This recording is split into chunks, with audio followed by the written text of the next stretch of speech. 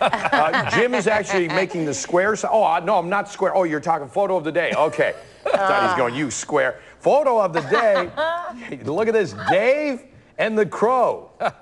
Submitted by the Crow. No, by Dave from Culver City.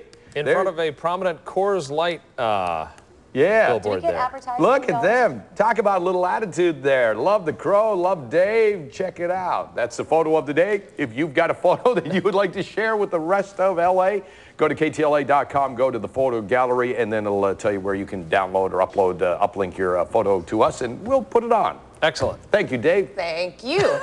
Uh, let's go to Sam Rubin You know right that, now. that photo came up, and two of the angry news writers like simultaneously like, ah, the silver bullet.